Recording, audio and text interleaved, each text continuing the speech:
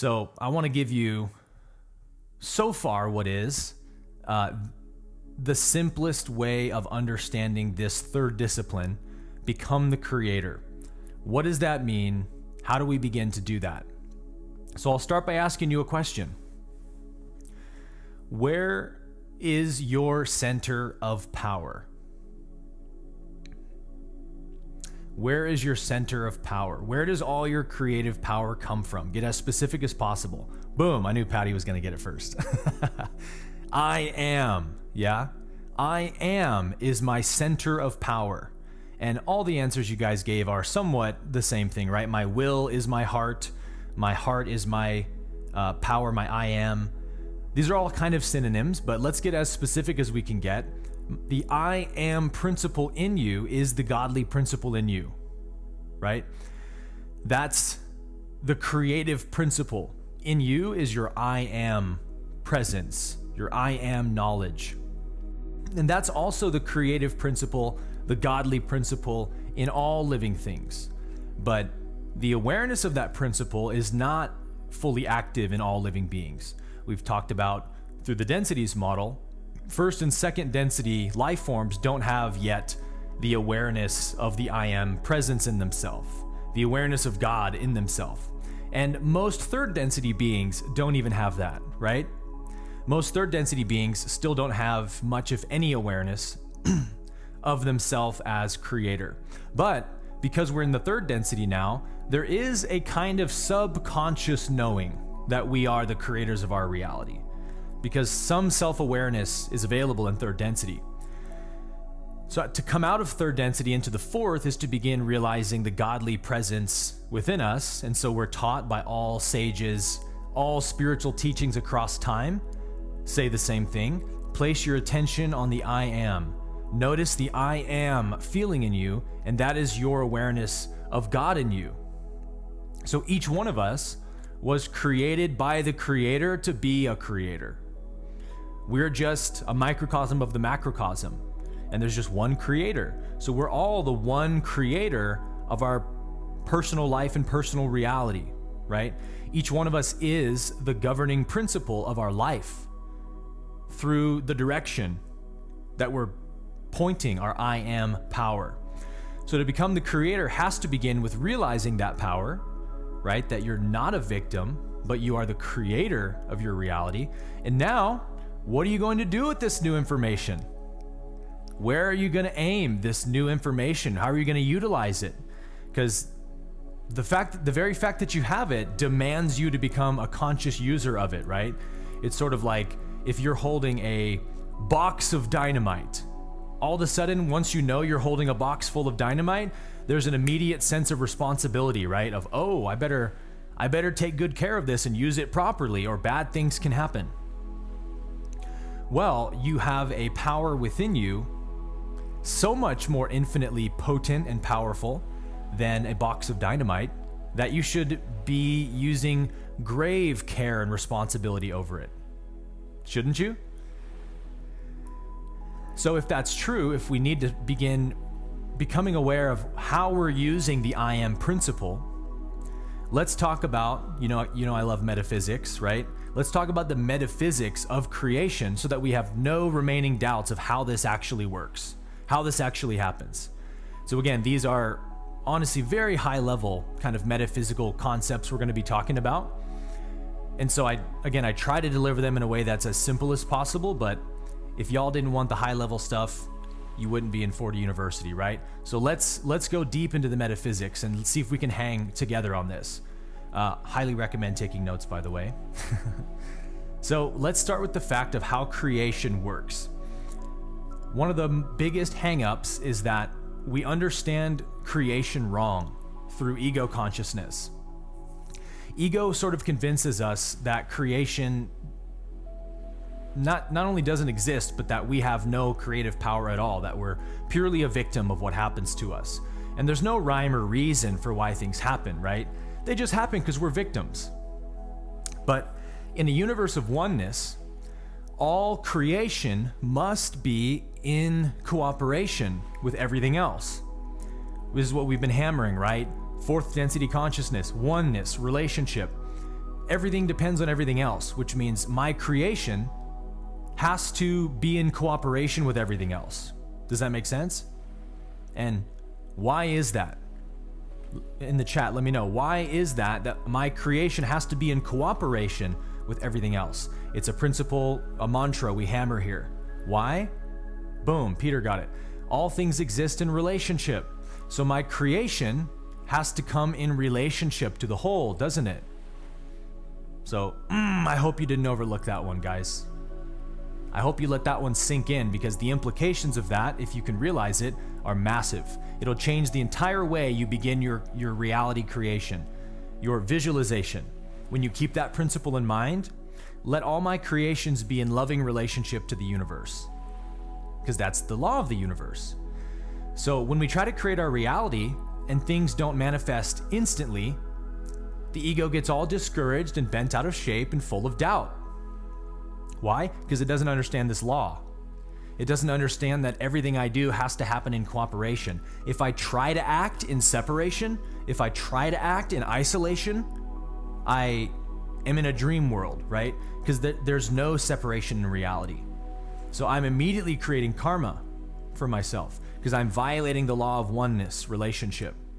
So when we try to create our reality and things don't manifest instantly, the ego gets full of doubt. See, um, I can't create my reality. I've been thinking about this for days and nothing's happened yet.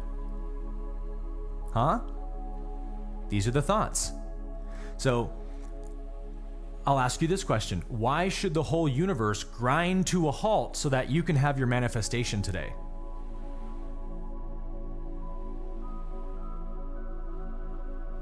Right, Sandy it the universe doesn't come to a grinding halt, does it? Everything continues going in its in its pattern, in its trajectory, in its evolution. And so if I have no patience to allow the universe to manifest my I am desire in harmony and cooperation so that my desire is not interfering with any other living being's desire. That may take what appears to be time in the 3D. But when you're not living as a linear being, an individual person bound in time, time doesn't matter to you anymore. How long it takes for your desire to manifest is inconsequential to you. You know that your I am principle, your I am power is unfailing and immutable and invincible, right? Whatever you decree will be made manifest. If, and only if, you can hold your I am attention on it. So the I am is the I am power we invest in anything has to be turned like a cruise ship, right? Because I am has tremendous power and inertia behind it. It's the creative principle of life. So if you've been pointing your I am in victimhood for 30 years, don't get all bummed out when you don't feel empowered after a week of practicing reality creation. Isn't that common sense? Don't be surprised. You've been investing your I am God principle and power into victimhood for decades. So give yourself a little time to shift out of that reality and into the empowerment reality that you want.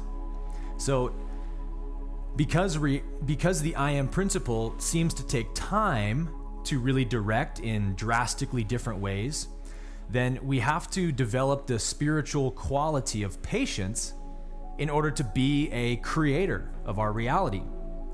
So, this is why consistency and unwavering determination is like the magic secret of manifestation. Consistency and unwavering determination is your proof that you know you're the creator.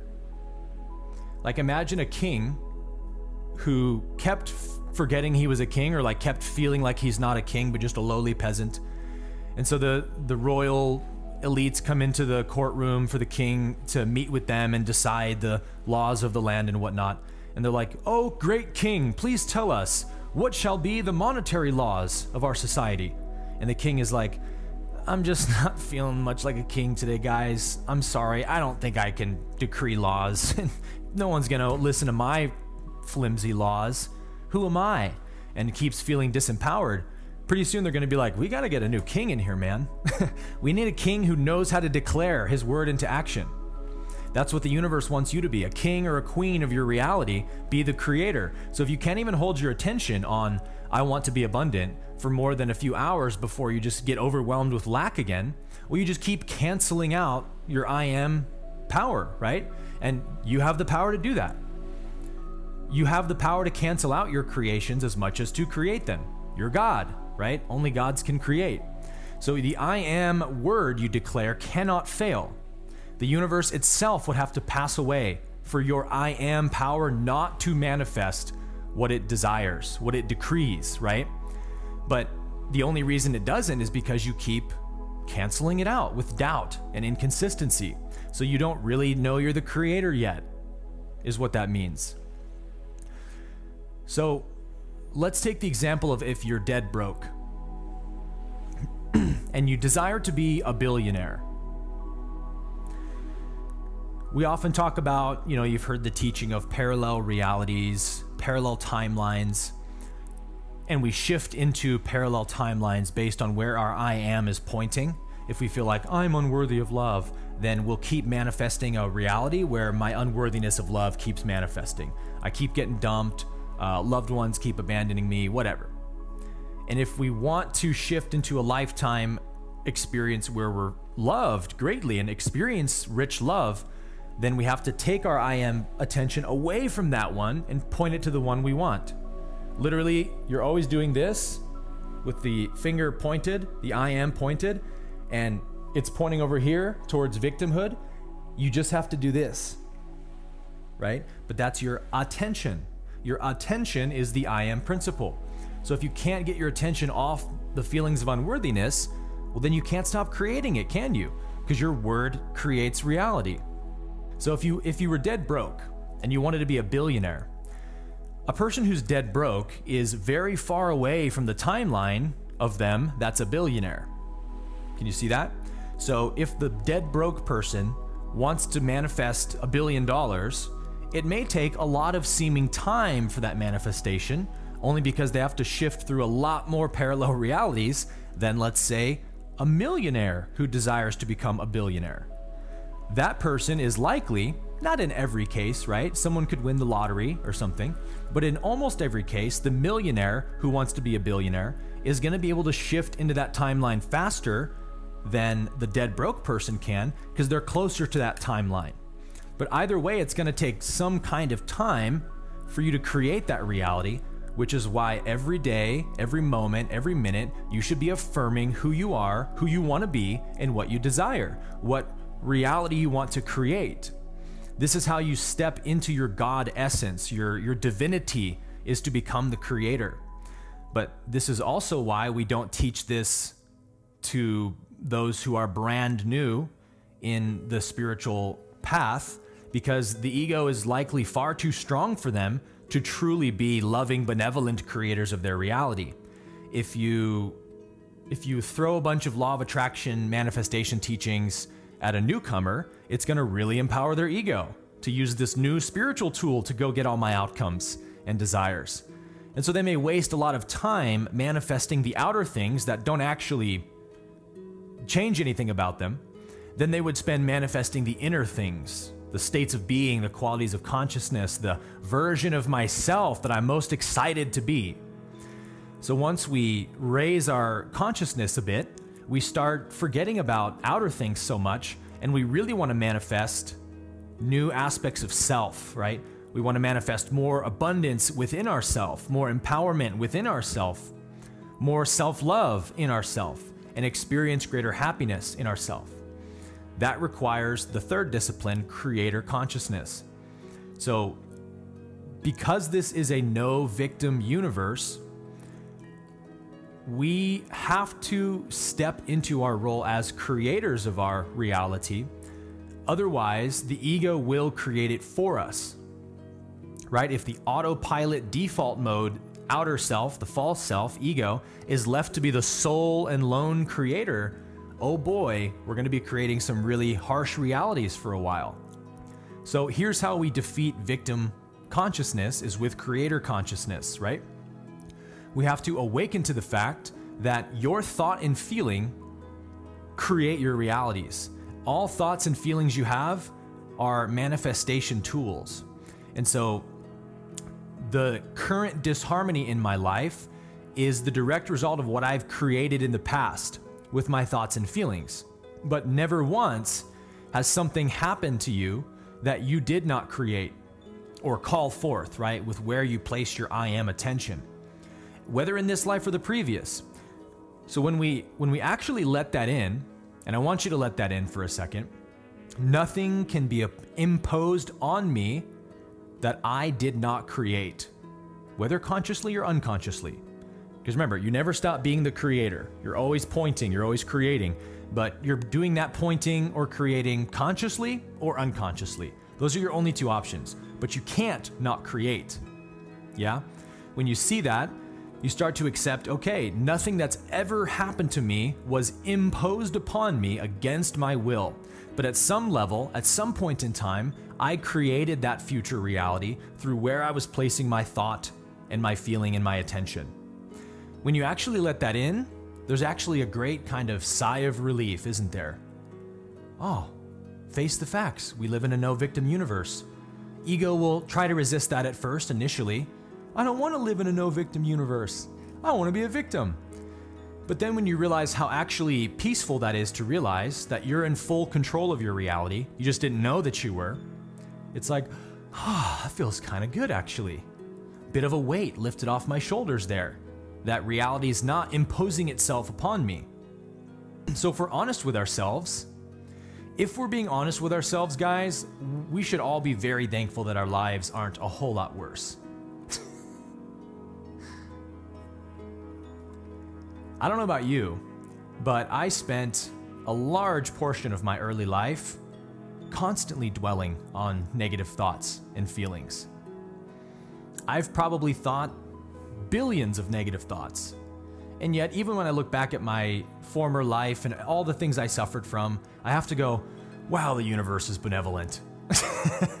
wow, the universe is kind. Like, if I'm if every negative thought was really going to create something negative on that same frequency, I would think my life should have been a whole lot worse. And of course, people are living a whole lot worse lives in terms of the physical suffering they're generating. But the point is, if we're all being honest with ourselves, with how responsible or irresponsible that we are with our minds, we should all be very thankful for where we are today. Clearly, we live in a very loving, forgiving, benevolent universe. But it still does impose the proper consequences of every action in some way that will that will produce evolution in you. So you do have to suffer in some way from all your thoughts and feelings that you give empowerment, I am power too. So that's why we say, hey, you gotta stop believing all those wrong beliefs. If you don't change your belief in lack, attachment, and control, the ego's got you by the reins, right? It's driving you. You're a puppet on its strings. So cut those strings, those three strings, by disavowing yourself from these beliefs. Outer dominion of our world can only come through the recognition of the I am presence within us that God is the governing intelligence of your life, active within you as the I am. So, where you place your attention, we've heard, is where you place your energy. But even more than that, where you place your attention is where you place your I am. We say the mind is the agent of the spirit, and the body is the agent of the mind. So, spirit is I am within us, right? So, the mind only really knows I, I am. So everything the mind places its attention on, it endows that I to that thing. So, in a sense, it's as if the mind only knows something by becoming it. And we call that the mental activity of identifying or claiming. That's the first definition of ego that we give you in Master Your Mind. Ego is the mental activity of identifying, because that's all the mind can actually do until higher awareness dawns. You have to identify with everything you see labels, judgments, ideas, thoughts, attachment, resistance. You label it something, right? So, if that's all the mind can do, then wouldn't it make sense we want to place that I attention on positive, divine, heavenly things as often as possible? And to be very careful not to place our I am attention on negative things for very long. Like if someone is gossiping, if you're going to get involved in that conversation in a way that you dwell on the negative, such as, yeah, what a jerk, I can't believe he did that, you're inviting that energy into your kingdom, right? Because you're giving your I am to that negative idea or thought. So we're not saying to ignore reality and pretend things aren't happening. We're saying all you need to do is be the witness of your reality. Notice everything that's happening, but place your I am attention where you want. Place your I am attention in what you want to build and create. Remember when we said your state of being only has two functions contraction or expansion?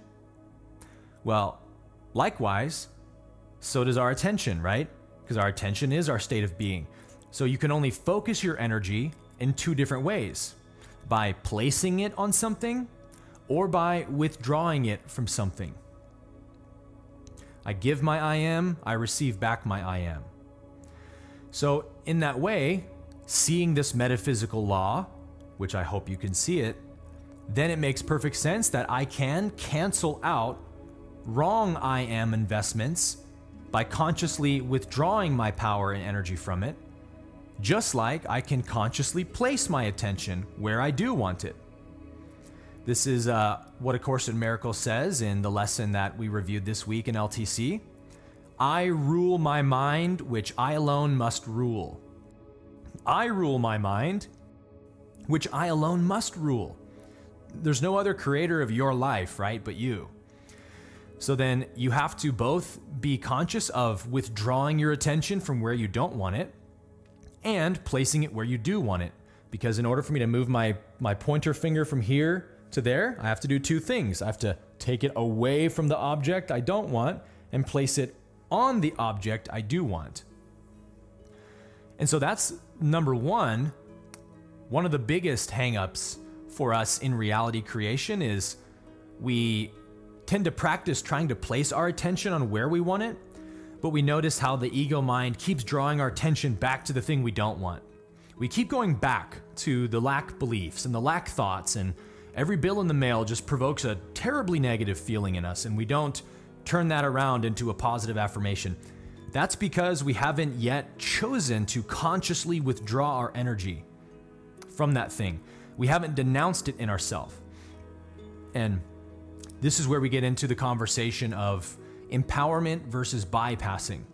So I hope that you guys really lean into this part of the conversation because this is where the real transformation potential lies if you can understand this. How do we avoid bypassing while becoming the creators? Because already I can sense you're probably thinking, well, you're telling me to deny something, but isn't that bypassing to deny something? Here's what we got to get Emotions and thoughts, not the same thing.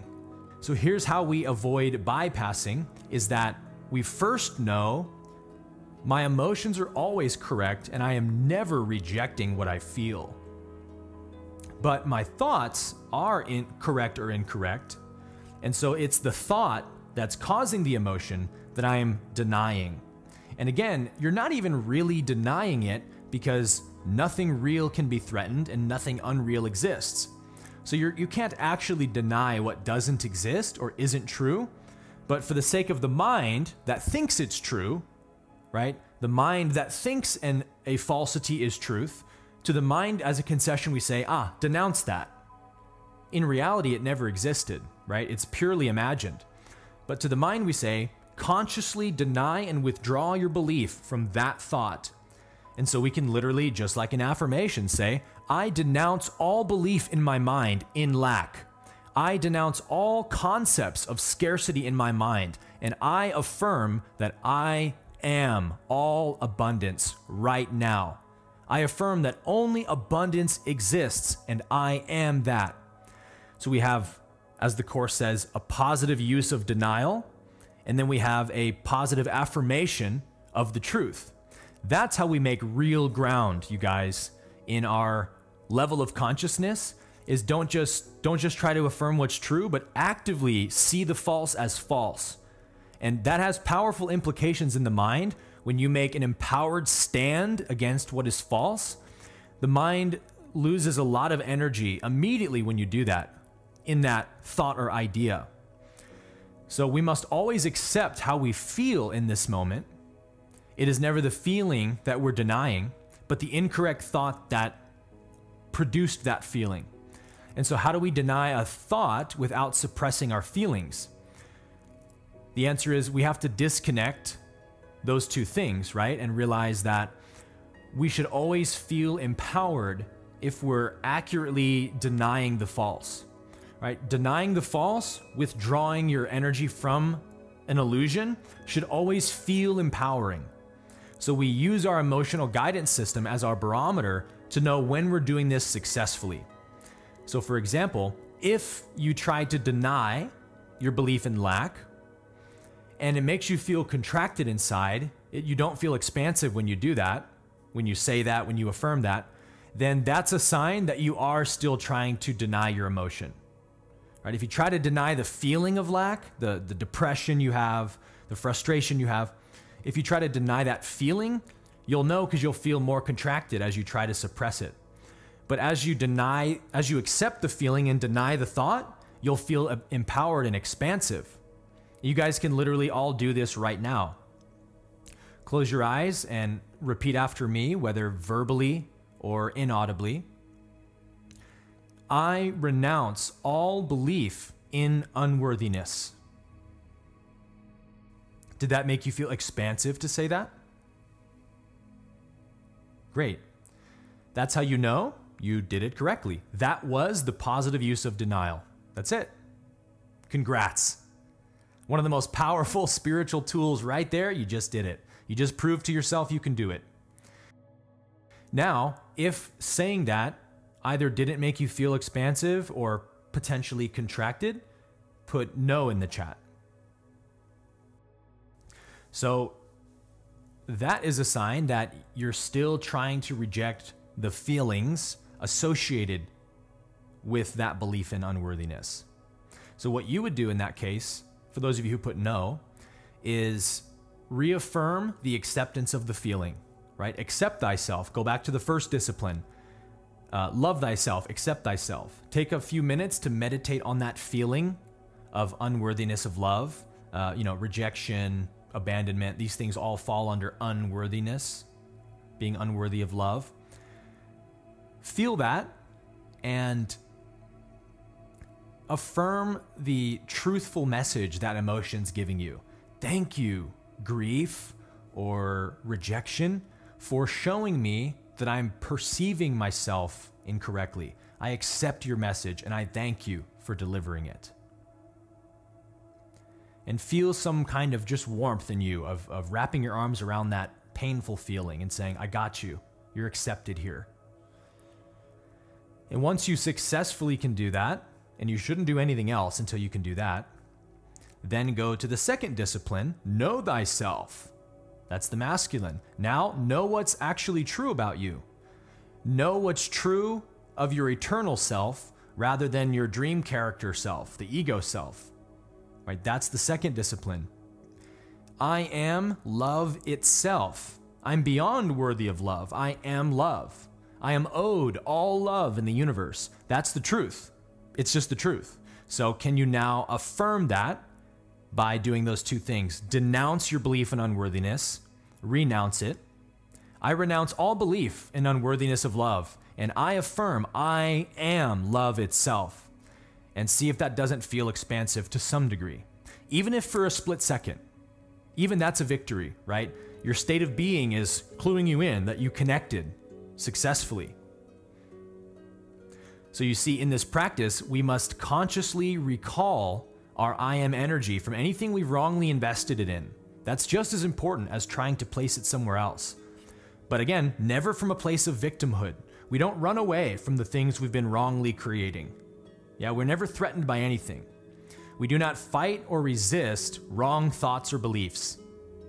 We just flatly deny them reality. Just not true, doesn't exist, no consequence. Nothing ever happened.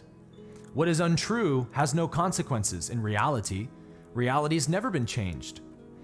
So you can keep on affirming I renounce all belief in unworthiness, and I affirm that I am worthy of love. I am love itself. I am the Creator's love in manifestation. I am. Spend some time during your day Doing those two things positive use of denial and affirmation of truth. And before you even try to come at me saying, I can't do that, I want you all right now to think about, imagine in your mind's eye, an elephant. See an elephant. Now, see a lion. See a lion in your mind. Good. Now, think of the color blue. See blue in your mind. Think of the color green. See green in your mind. Okay, kindergarten level stuff here.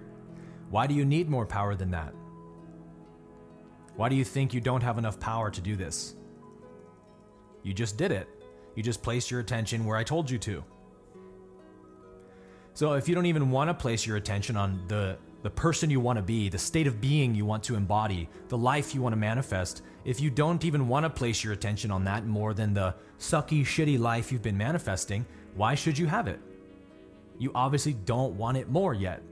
Because if you really wanted a life of love and abundance more, it would capture your whole heart and attention. You'd be transfixed on that vision all day, wouldn't you?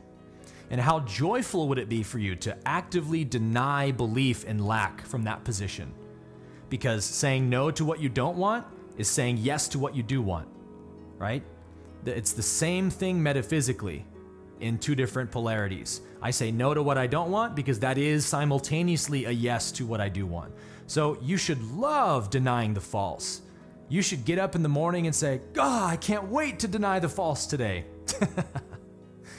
because if you're coming out of an old position and into a new one, that should be your highest excitement uncreate the reality you do not want and create the one that you do want. That's it. So if you can place your I am attention on an elephant or a lion or the color blue or the color green, why can't you place it on the reality you desire, the state of being you desire? Right? You lack no power at all to create your reality. You only lack the will to use your power. Somebody just got that. Somebody tell me you just got that. You don't lack the power, you lack the will to use your power. I hope you all feel personally called out by that one. Because we've all done that. We're all doing that, right? We have all the power in the universe, as Jesus saw and realized. Jesus said, All power in heaven and on earth has been given to me. He knew it. If he's saying it's true of himself, he's saying that's true of you too. The implication is me equals you. Whatever is true of me is true of you. All power has been given to me, but the difference between us is I've realized it and I have the willpower to use it. So there's only one way of overcoming or rising out of anything. Yeah? And that is to take your I am attention completely away from it, denounce belief in it, and fix it firmly upon the higher ideal that you want to embody. That's it. But do you believe it's really that simple? I hope you do. It's so simple, it's difficult, right? Simple and easy are not the same thing. Simple is the the structure of it, the framework, the understanding of it. Ah, mwah, perfectly simple. What a brilliant, brilliantly simple divine idea. You create your reality based on where you place your attention and keep your attention, right? Easy to understand. Easy to do? By no means. It will take time. Yeah, it will take practice. That's why we emphasize these practices so much here. That's why we give you, you know, workbook practices and that's why we give you affirmations to return to again and again because you got to be affirming the truth of yourself all day long in your heart. Do you love anything more than that? Do you want to know the truth and live from the truth more than anything? Then you'll gladly do this practice. You, I couldn't stop you from doing it, right? Because if you know that you want a fancy car and you have a means of making lots of money to buy that car, don't you love the act of working? At that point, when your work is paying off and you're building, building, building closer and closer to that dream car or dream house, you can't wait to get up and go to work every day because you're feeling the momentum that's happening. In the same way, when you're positively denying what's untrue, the false beliefs you've been giving your attention to, and you're placing it where you want, that should be the funnest thing for you. Just like manifesting your dream house would be the funnest thing for you, right? That is how we create our state of being. That is how we become the creator. Every day, consciously utilizing, harnessing our I am power to govern and create our reality. Could that be put any simpler?